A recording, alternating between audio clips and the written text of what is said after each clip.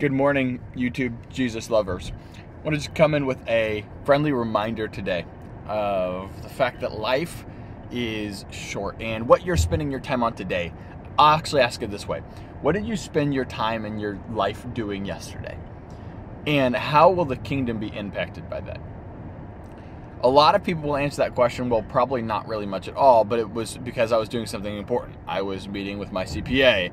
I was having a, a serious conversation with my parents. I, um, well, it was my friend's birthday, right? All of these reasons. We have a lot of reasons, and there's actually a parable Jesus shares about this. It's one of the most powerful parables that I have never heard anybody share from a pulpit ever in my life. Again, I'm sure somebody has, but it's odd to me that I've never heard a single person share this. Jesus says in this parable that he asks for the people who had got wedding invitations to end up coming to this wedding event that he was having or hosting.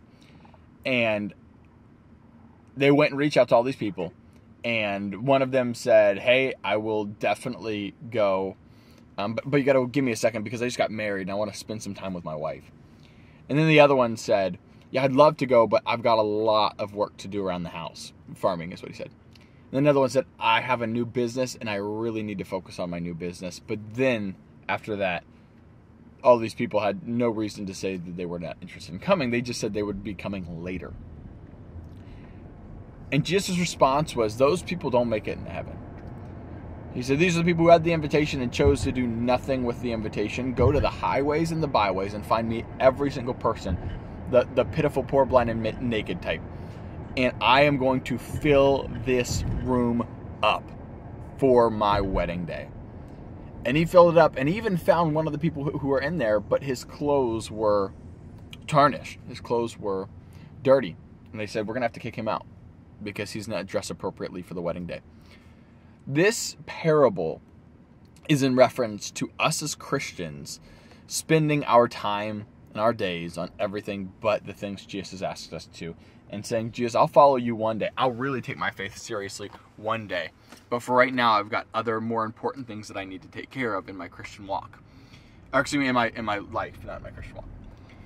And there's gonna be a time where it's too late, Jesus says. And we don't want that time to ever happen in our life because we want to be ready at all times. And again, it's not this living in constant fear and shaking in our boots kind of thing. But it's us as Christians making sure that we're constantly focused on things above then it mentions one person who's in the wedding feast but gets kicked out of the wedding feast. What does that mean? Well, you know, this is a this is literally an example of a false convert. Somebody who's in the wedding feast, but his clothes got tarnished for whatever reason, and Jesus says, "You're gonna have to get out." This is somebody who's a false convert, somebody who's going to church every single Sunday, and I believe that this parable, this specific analogy right here, plays such a huge part into so many Christians' lives around us. That these are people who are not living for the Lord, but they're going to church. They're around the right crowds. They might even be going to a small group. They might have even, have served in a mission trip or gone and do a played at a worship team at one point.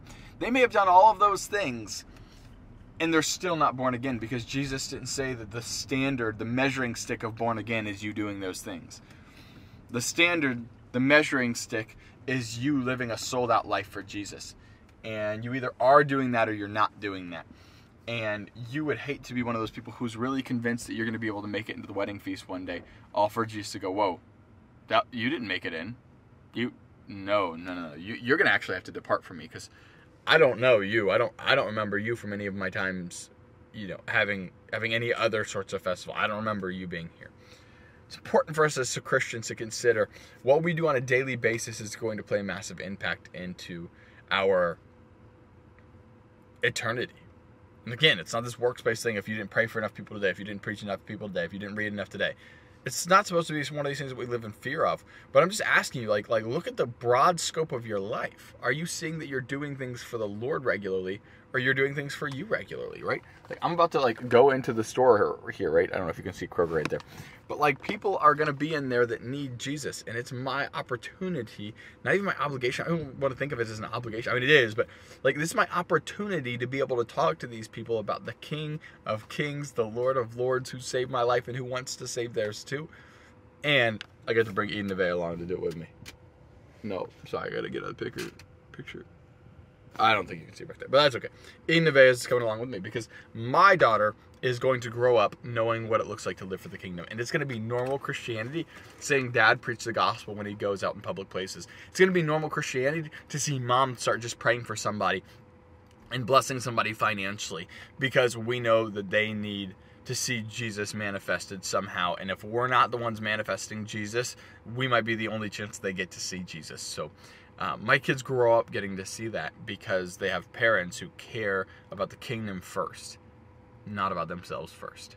It's challenging. It's not easy. I'm not saying this is something that's easy to do. I'm not saying I'm perfect at it. I'm not saying I've never messed up at it. I definitely have. I've had plenty of times where I felt like I was supposed to say to somebody something to somebody, and I chose not to for no good reason. So I totally get it. Trust me. But I'm not going to make excuses as to why I'm not doing what Jesus called me to do. So, anyways, go out there today. Do something for the kingdom. Not for you. Do something for the kingdom first do stuff for you later. Love you all.